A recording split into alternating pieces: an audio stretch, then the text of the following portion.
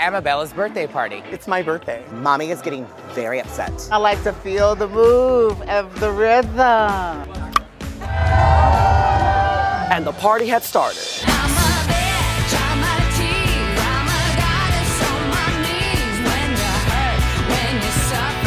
Hello, I'm Pandora Box, and I am playing Renata from Big Little Lies, and we are here celebrating the second season. The audience was definitely not expecting a group of drag queens to come up and represent their favorite characters. I had the very distinct pleasure of putting Miss Madeline up in Texas Size Drag. I am playing Celeste. I am playing the character Jane. And I'm representing Bonnie. Basically the characters, but supersized with drag queens. We love our ensemble of divas.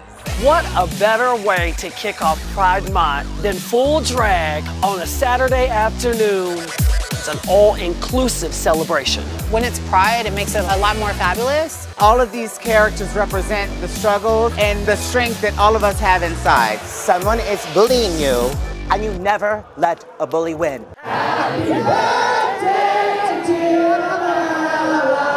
Can we crown her? She finally won something. I got the crown and a three-layer cake, and all my friends came out to celebrate. And if you weren't here, sorry, you missed out. One more time, happy birthday, Amabella!